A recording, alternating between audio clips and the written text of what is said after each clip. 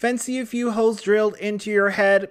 Yep, me neither. But such was the practice of trepanation, one of the oldest surgical interventions that used to be thought as a cure for migraines and seizures. Thankfully, we've come a long way since then. There has been a huge leap forward in the world of medical practice, from the ideas that prevailed in the eras before us. Some doctors in particular played a huge role in moving the practice forward. The question is, what would medicine look like today without these doctors' contributions? Watch on to see our picks of some of the most influential doctors in history. At number 7 on the list, we have Louis Pasteur. Pasteur was a chemist and a medical microbiologist. He invented pasteurization when he discovered that bacterial organisms were responsible for the premature souring of wine, milk, and other perishables. Boiling, then cooling the product was able to kill the harmful bacteria. You know what that means? Well, before Pasteur's discovery, your glass of milk may have killed you.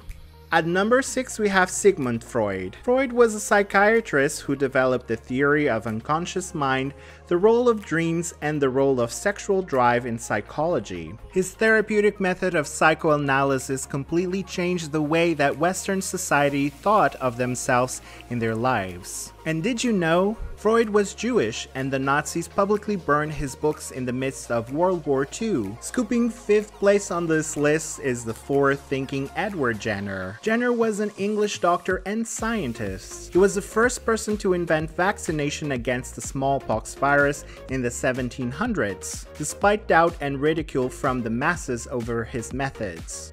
Jenner hypothesized that people who contracted cowpox never went on to contract smallpox. By inserting the pus from a cowpox pustule into an incision on a young boy's arm, Jenner was able to prove his theory correct. The boy became immune to smallpox. Fourth place on this list belongs to Andreas Vesalius. Often referred to as the founder of modern human anatomy, Vesalius wrote and illustrated the Humani Corporis Fabrica, the first comprehensive textbook of human anatomy. His work on human cadavers completely changed the understanding of human anatomy. Before this, it was centered on animals. Vesalius was appointed physician to the Holy Roman Emperor. We're almost at number one, but number three on our list is Joseph Lister. Lister developed the critical theory that bacteria must not enter a wound. Well, this held huge implications for healthcare. His work allowed for huge advances in surgery and better patient outcomes. Lister even reduced the mortality rate in his ward to 15% in the space of four years by using phenol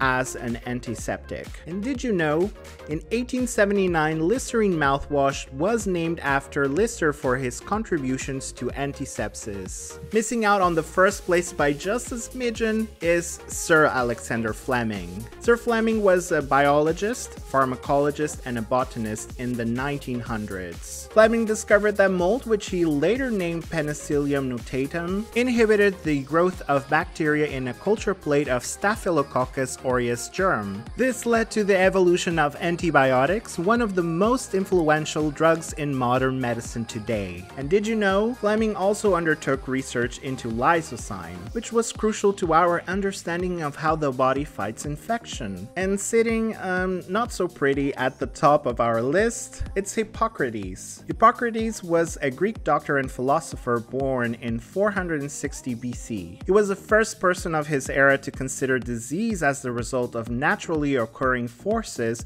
rather than something controlled by the gods or superstition. His theories about the human body laid the groundwork for doctors to come. And did you know? Hippocrates' legacy came in the form of the Hippocratic Oath, which stated the obligations and conduct required in newly trained doctors. And so concludes our list of some of the most influential doctors in history. Which doctors have you been most inspired by? Do you think we missed any out? So, please leave a comment below. Until then, I'll see you on the next video.